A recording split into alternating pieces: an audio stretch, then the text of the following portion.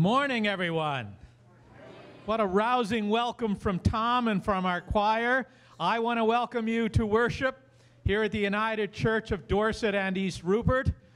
I remember last Sunday I welcomed you to springtime. Welcome back to winter.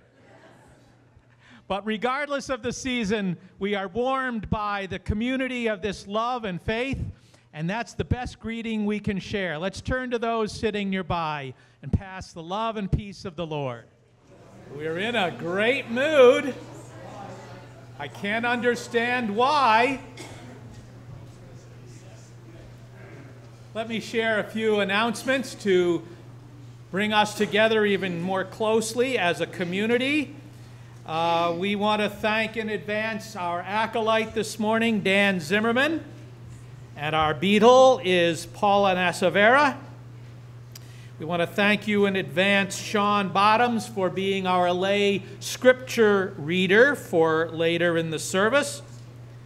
Likewise, thanksgiving to Walker May, who is our worship technician in the balcony. And we are blessed this morning with lovely flowers, thanks to Andy and Ginny Longacre for the glory of springtime, which will sometime get here.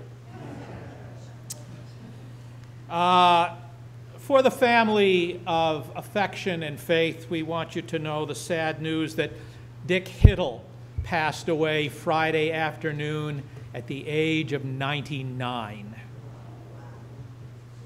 So there are new COVID guidelines.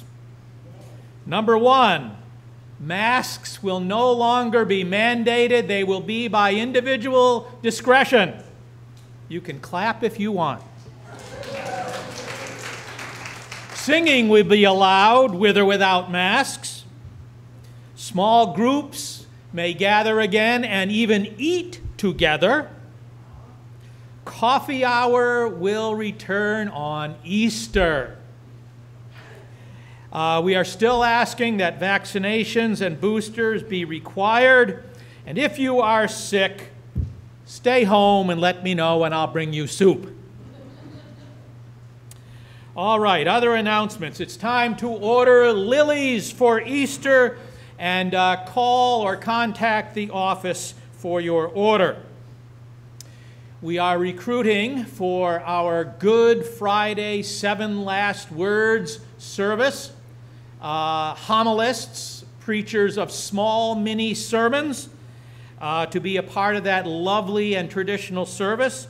And if you would like to uh, venture forth with that, uh, I would love to invite you and give you uh, the details.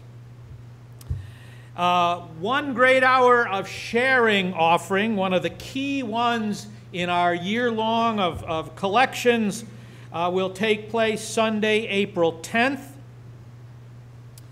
The green team is continually uh, encouraging meatless Mondays, and you will see the latest recipe from Kate in the bulletin.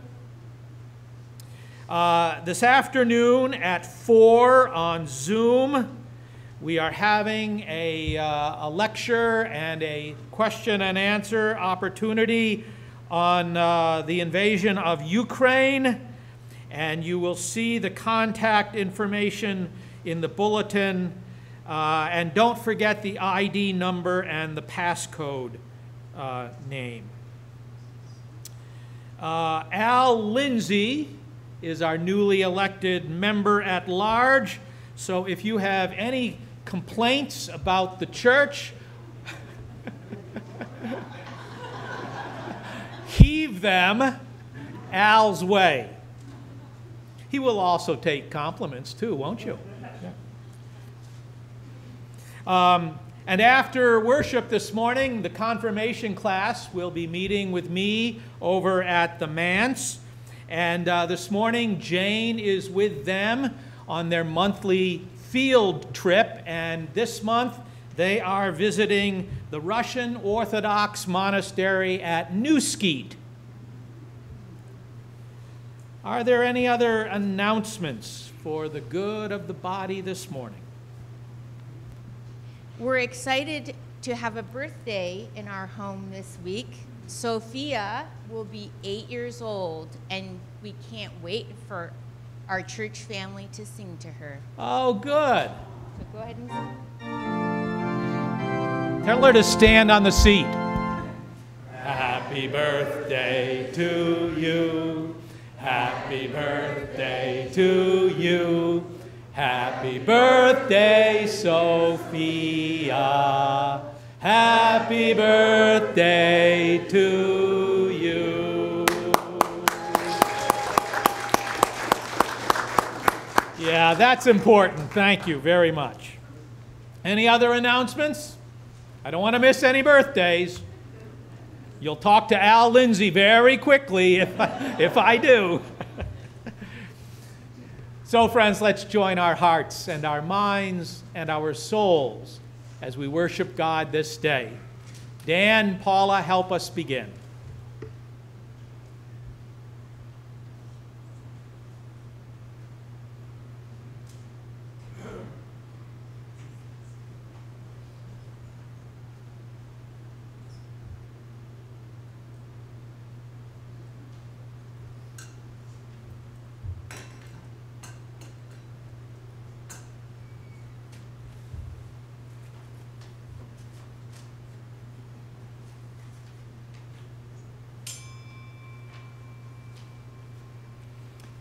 Friends, shall we call one another to worship our God? Jesus makes us a promise I will never abandon you as orphans. I will not vanish from your sight.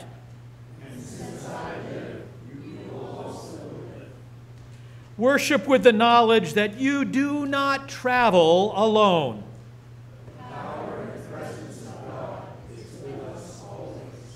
As we feel God's presence among us, let us worship God. Let's sing our opening hymn, and it's number 200. We're singing verses 1 and 3 of What a Wondrous Love Is This.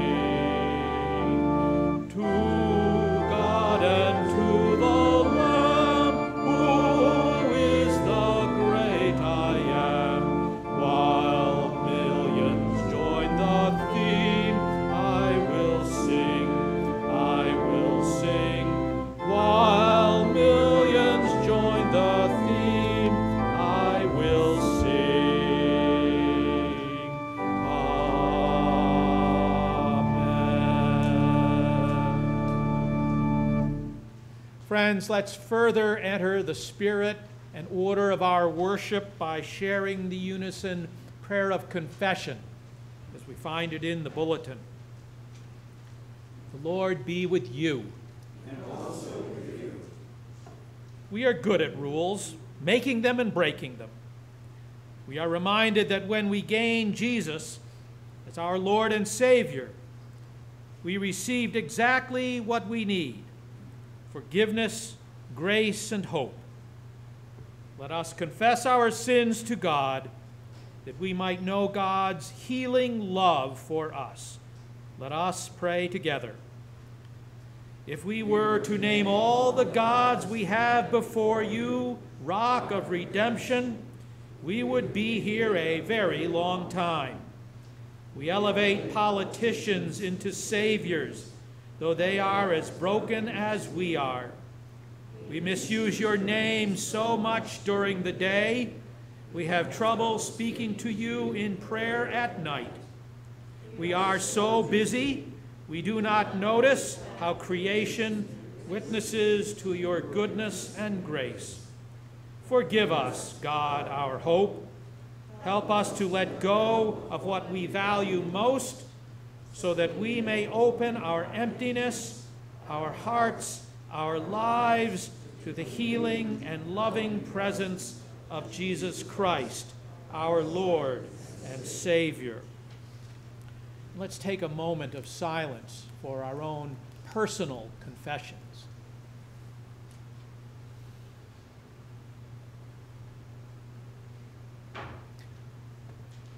Friends, the point of confession is not to make us feel condemned. It is to embrace the gift of God's love and forgiveness. Let's share the assurance. Persistently, patiently, lovingly, God pours out grace and joy into our lives, healing our brokenness, forgiving our sin. Loved, we are sent to love. Forgiven, we are freed to forgive. Graced, we offer our gifts to everyone we meet. Thanks be to God. Amen. Now I call on Dan to lead us this morning in the Lord's Prayer.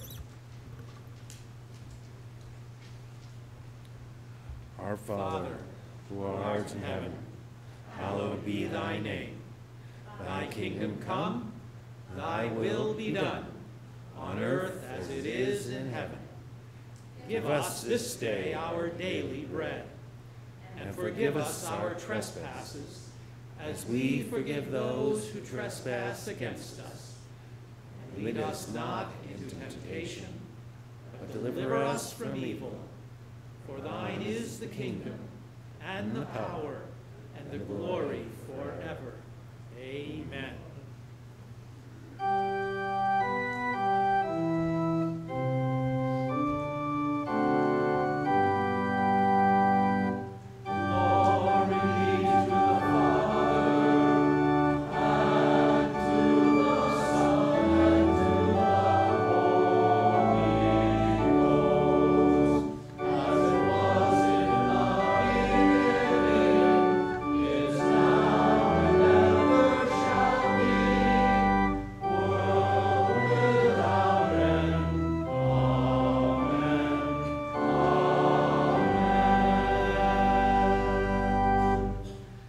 Invite the adults to be seated, but I would love a moment with my, my friends, my Sunday school buddies on the steps.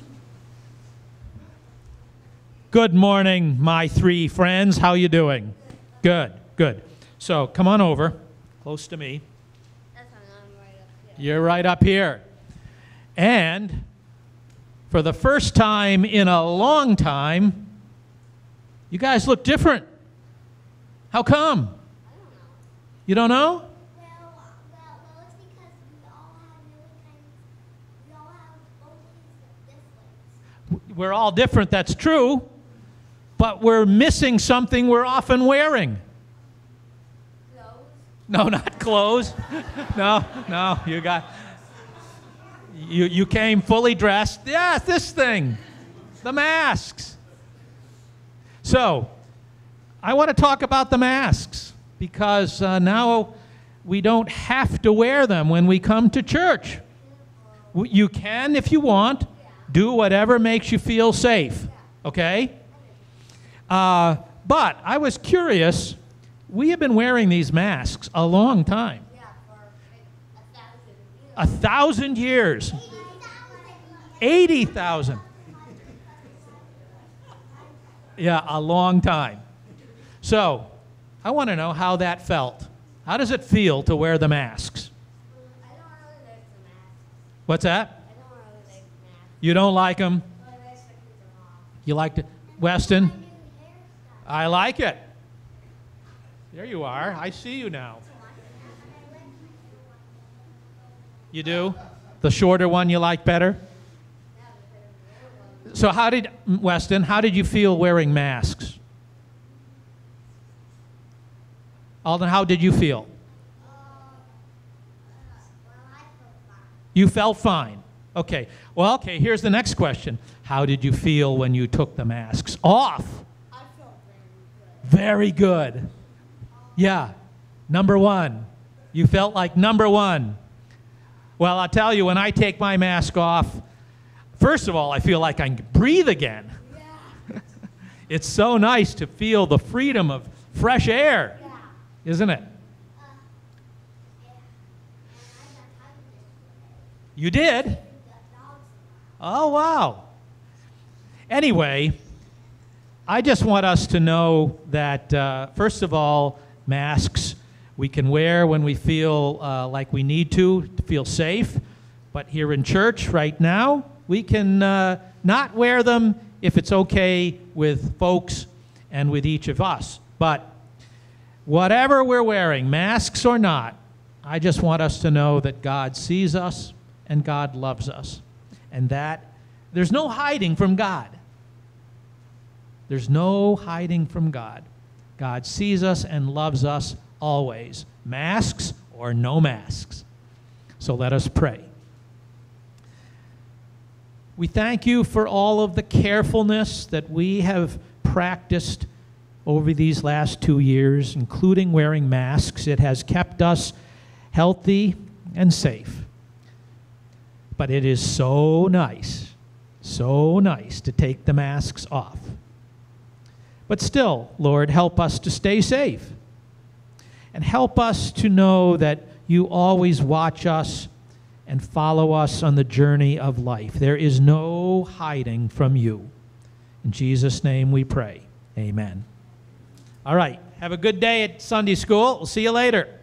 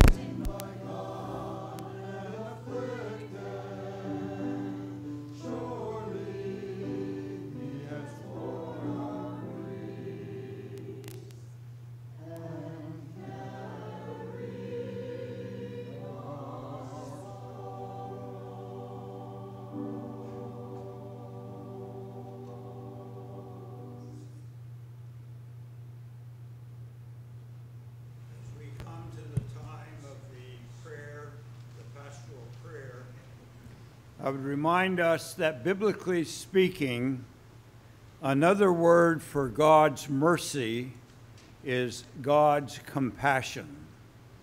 So in peace, let us pray to the Lord, saying, Lord, have mercy. O God, our Creator, help us to be silent before you and to know that you are God. We come asking your help in teaching us how to pray. How do we, as partners of a peace and peacemaking church, pray for our world in a time of war? Words fail us, O God. Help us to accept that there are events over which we have little or no control. And may we know again that you call each of us to be faithful servants of your compassion and peace. Let us pray to the Lord. Lord, have mercy. We pray for this church and the church throughout the world that all who follow Christ may embody the reconciling love of Christ. And may we unite with all fellowships of faithful people of differing faiths and backgrounds in seeking your will and your purpose in our daily lives. Let us pray to the Lord. Lord, have mercy. We pray for the peoples and nations of the world and their leaders. We pray for a change of heart by Vladimir Putin and the Russian military leadership, that they may halt their death dealing destruction in Ukraine. And our prayers are especially with the citizens of Mariupol without food, water, heat, and medicine in that devastated and besieged city, that relief supplies may reach them. Let us pray to the Lord. Lord, have mercy. We pray, O God, for all efforts around the world to provide humanitarian aid as well as military support to Ukraine, to those who are resisting the invasion of their land, and for the many refugees from the war. We pray for our enemies that we may reach across the divisions between us. Be with the families of all soldiers and all civilians killed and wounded and our prayers are with the courageous war resistors in Russia.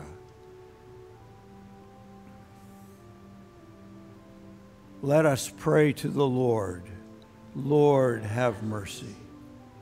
We pray, O God, for the planet Earth, your gift to all creation and to humankind, that all may share wisely in its resources and may conserve its riches for our children's children.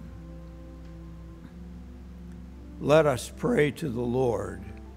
Lord, have mercy.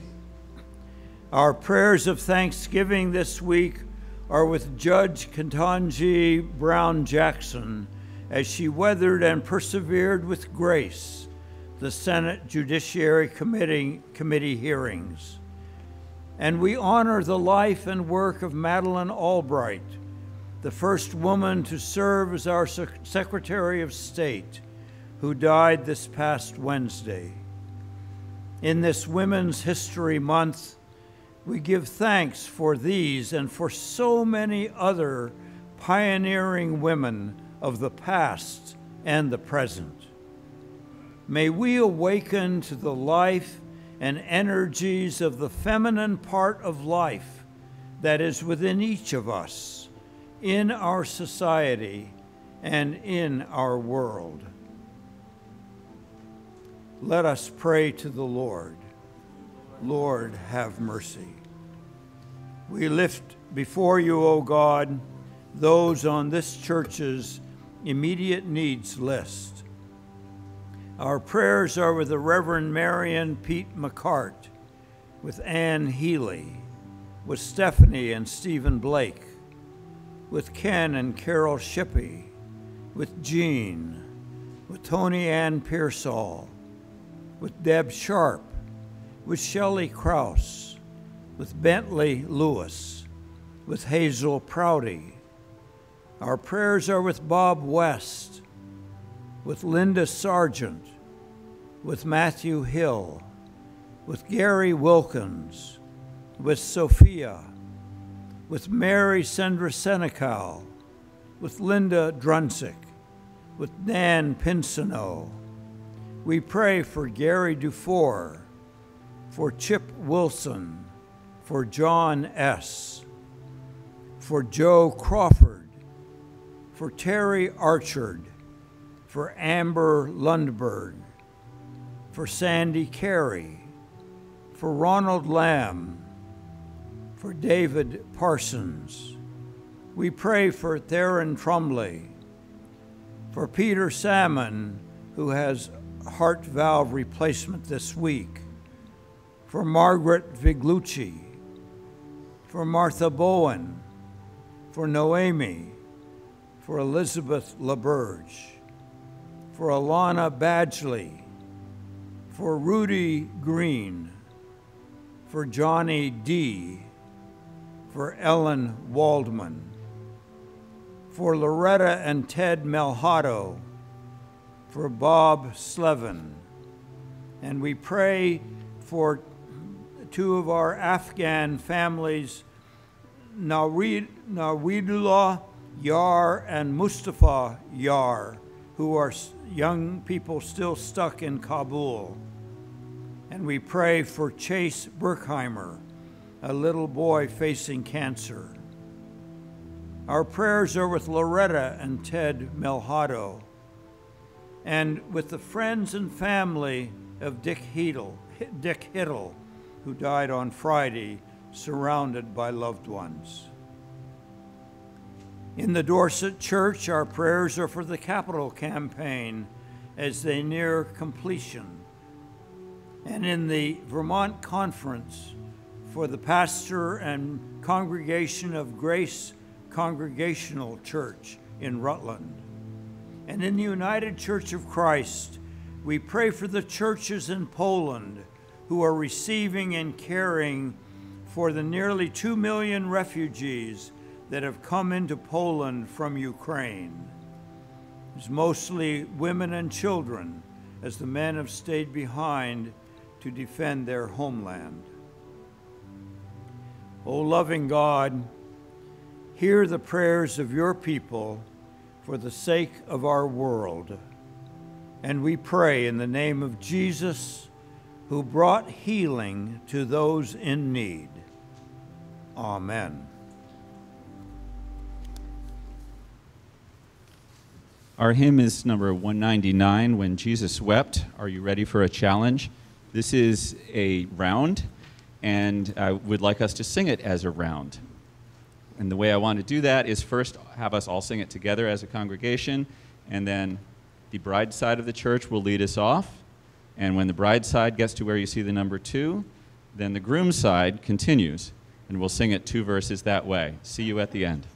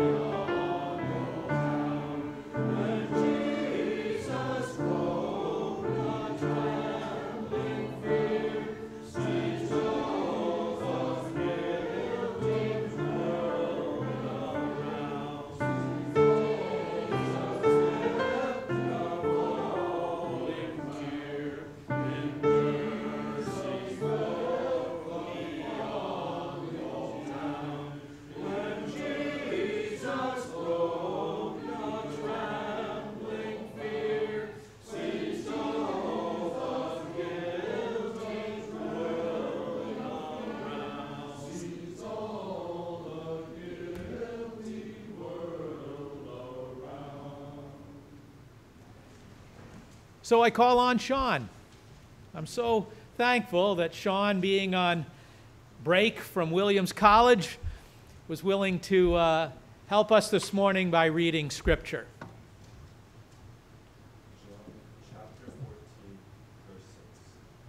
Jesus said, I am the way and the truth and the life. No one comes to the Father except through me. If you know me, you know the Father. Henceforth, you know him and see him. 1 Corinthians chapter 13 verse 9. For now we know only partially, but when wholeness and perfection is ours, the partial will end. When I was a child, I spoke, reasoned, and thought like a child. When I matured, I put an end to childish ways. For now we see in a mirror dimly, but then we shall see face to face. Now I know in part, but someday I will be fully known. Genesis chapter 32, verse 24. Jacob was left alone, and a man came and wrestled with him all night long till daybreak. When the man saw that he couldn't prevail against Jacob, he struck him on the hip socket, and Jacob's hip came out of joint. Then the man said, Now let me go, for the new day is breaking. But Jacob said, Not until you bless me. So the man said, What is your name? And he said, Jacob. Then the man said, You are no longer named Jacob, but you are named Israel. For you have battled with God and with humans and have survived. So Jacob called this place Peniel, for I have seen God face to face and lived. Thanks, Sean, for the words that undergird my sermon entitled Face to Face at Last. But before I preach, let us pray. O God of love, O God of truth, let us say strong things gently and gentle things strongly. Let us speak the truth in love to all and love the truth that lives in each. Let us hear the truth as we each need it and live that truth. O oh God, we heed it through Jesus, your word and our Lord. Amen. So, ever since uh, a number of the Vermont schools lifted the mask mandate, I've heard a number of cute stories about seeing whole faces once again. So, there's the story of the middle school girl who surprised everyone when she took off her mask, and people suddenly realized she'd gotten her braces off sometime during the last two years. What a lovely smile you have, so many people told her. And she started to walk down the hallways with greater pride and confidence. Then there were the numerous stories about the high school boys who, over the last two years, had matured into young men. Off came the masks to reveal their Faces had elongated, and now we're sporting mustaches. Suddenly, makeup mattered, smiles mattered, shaving mattered, whole faces mattered.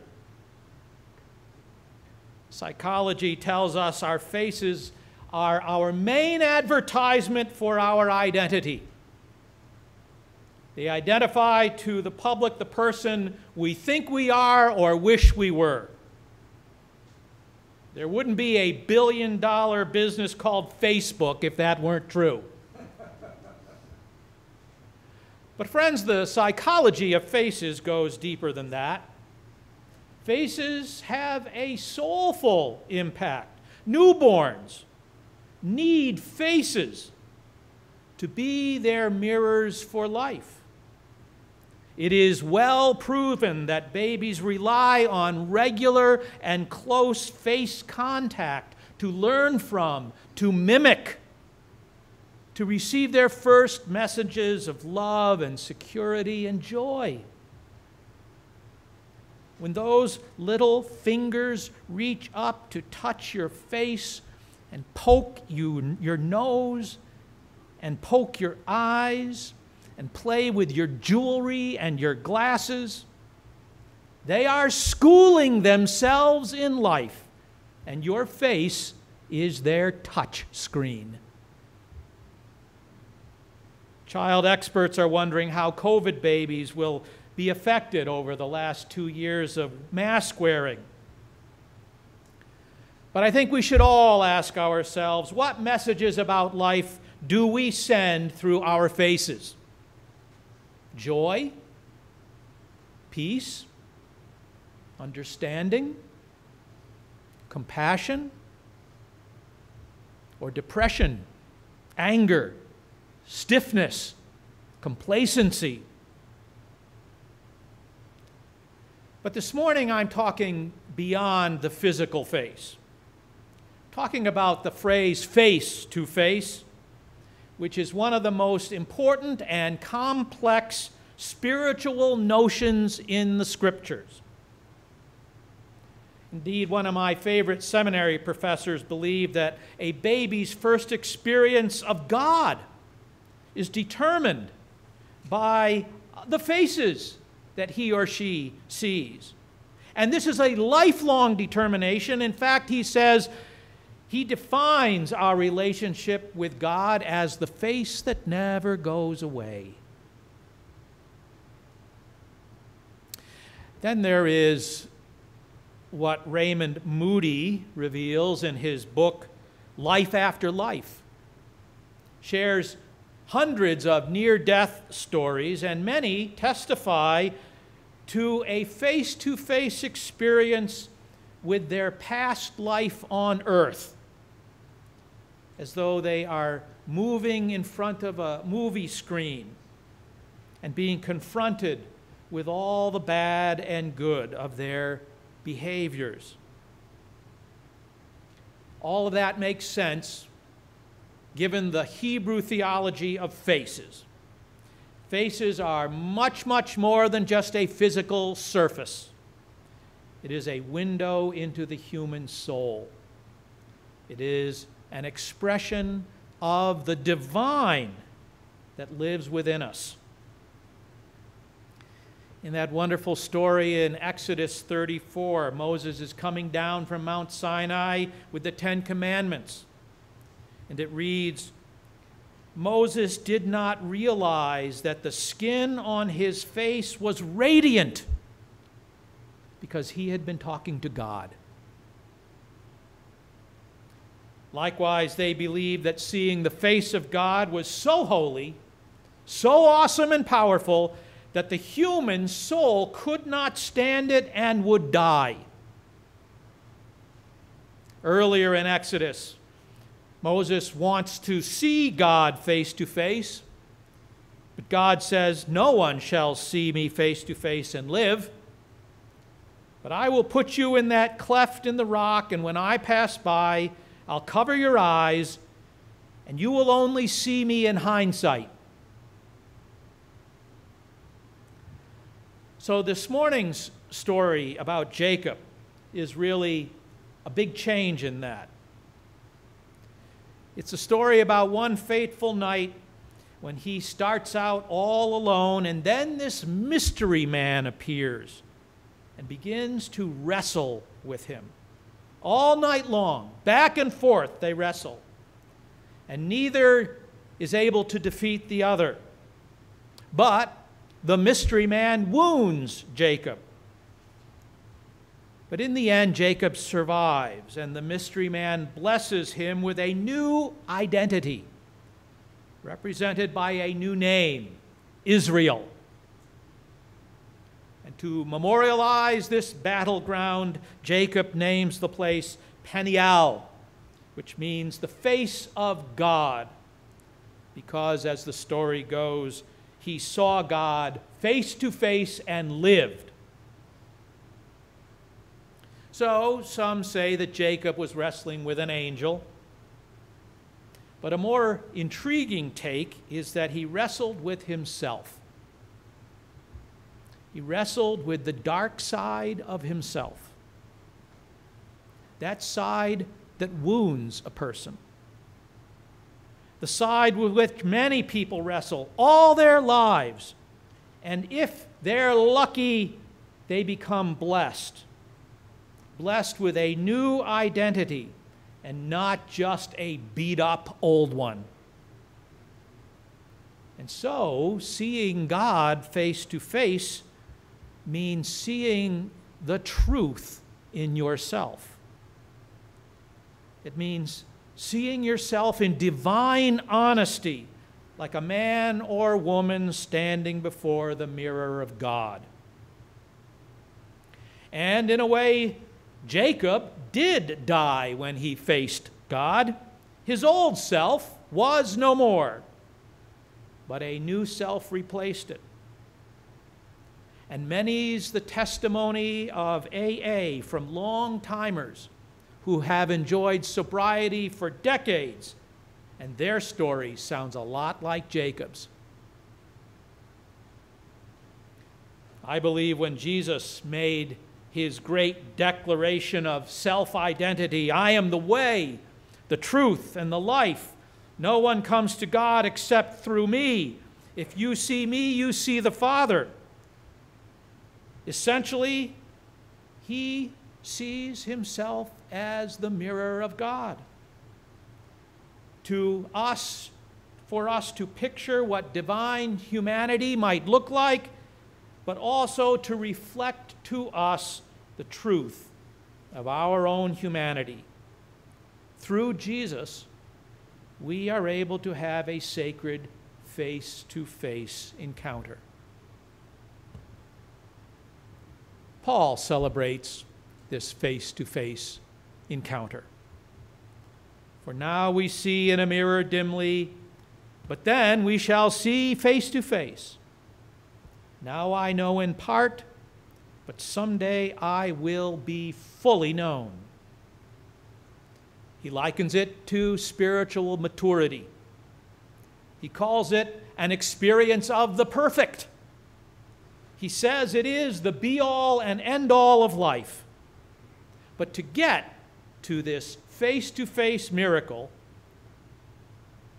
he suggests we must remove three different kinds of masks.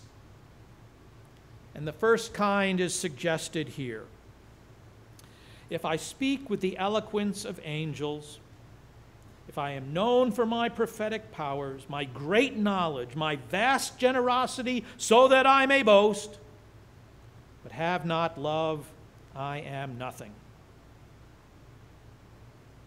To have a truly sacred, a truly transformative face to face experience, we must take off the mask of our public persona. There are many who are raised to live by what the public thinks of them. Their personal identity is profoundly tethered to their public identity. And to boast is to live, and to live is to boast. Right now, many American high school seniors are absorbed in this frantic search for college, and American colleges are absorbed in the frantic search for students. And frankly, when I think about that list that Paul enumerates eloquence, knowledge, generosity, future insight it sounds like the ideal college application, which only shows us how hard it is to unmask ourselves from the public persona. Our whole culture is geared for it. One pastoral counselor noted we put more time and energy and devotion into creating lives that sound like great resumes instead of living real lives of love and faith and hope. The second unmasking is suggested here. When I was a child, I spoke like a child, reasoned like a child, thought like a child. When I matured as an adult, I gave up my childish ways. The second unmasking is that of our childhoods. Now, immediately, we could hail back to Paul's famous list of those great qualities of love. And we might say that being childish means being impatient and unkind and envious or boastful or arrogant or rude or insisting on our own way or holding resentments or just being irritable. But taking off the mask of our childhoods goes deeper than that. It means giving up the logic that governed our childhood simplistic, literalistic thinking. It means no longer letting our parents control our lives with guilt or money or authority. It means no longer letting our childhood wounds govern our adult agenda. It means being liberated from those childhood needs our parents didn't fulfill. And no longer harboring resentment for what was stolen from us during childhood. Instead, it means coming face to face with ourself, just like Jacob wrestled with himself. And in the end, standing on our own two legs with a whole new identity. The third unmasking is suggested here. For we only know in part, and we can only see the future in part. But when the complete comes, the partial will end. This is the unmasking of false completion. It is a great act of humility to say, I only know in part. I only see in part. Because in this present culture of ours, how many talk as if they know it all? That they are done changing, they are complete, a finished product perfect as they are. Don't mess with them and don't try to change their ideas. When I hear something like that in nursing homes, I say to myself, it sounds as though they are on their way through the valley of the shadow of death. And so I want to end with a story about a dear lady that some of you may remember named Zaid Boyce a woman who, for a long time, never wore the mask of false completion. For many years, she lived at Equinox Terrace, and she would devotedly come to our worship services. That is, when she wasn't out and about town with friends at the library book club, playing bridge, going out to eat visiting museums or antique shops or just going for walks. She had no blood family, but her friends became her family. And Zaid, dear Zaid, was honest and upbeat, a great storyteller, and an even better story listener. Her joie de vivre was so contagious it was always a gift for me to visit her more than the other way around. Now, perhaps this stellar mood and attitude was a part of her natural spiritual makeup, but I also know she worked at it. She was constantly learning a new language. She vowed every single year to make a new friend under the age of 50. She was always open minded to new ideas. Zaid never wore the mask of false completion. But more than that, she gave witness to the greatest truth of all about faces that it's not about the physical, it's about the spiritual, totally about the spiritual. Because you see, Zaid's physical face was deformed. It was deformed, I think, from a bout of cancer early in life. At any way, she had a crooked nose. She had sunken in cheeks. And yet, the outside of her face was barely something you ever noticed because her true being was so completely expressed by her radiant personality and that amazing loving spirit. Everyone, everyone who knew her called her beautiful. Amen. As we come to our time of offering, we, the offering plates are still located on the small tables in the back as we enter or exit. Um, and I would like to call our attention, along with the announcements, we have had a brief stewardship note in bulletins, and today's bulletin says, next to welcoming spring, says stewardship is love in action. Our stewardship of our giving uh, through the church and in many ways is one of the ways that love is in action. And we say that as people of the new creation, we offer ourselves and our gifts to God. Let us join in singing the doxology.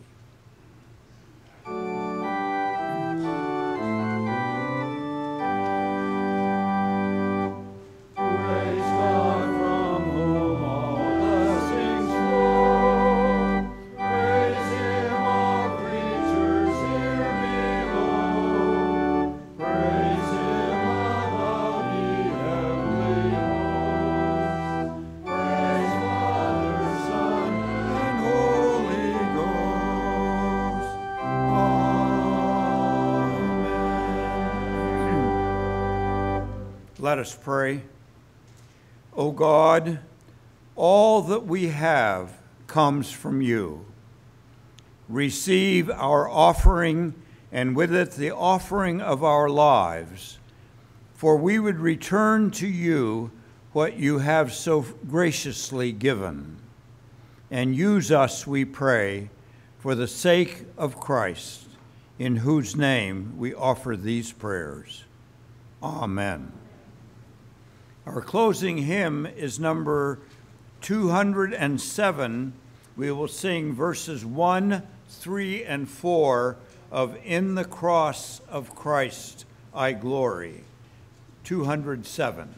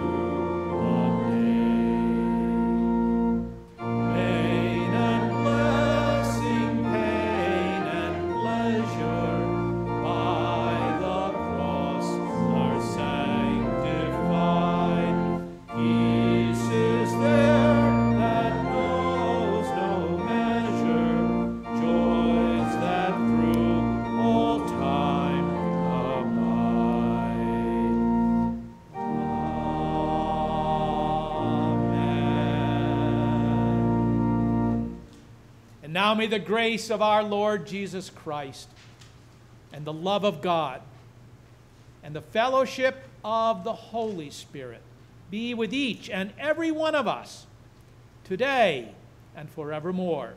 Amen.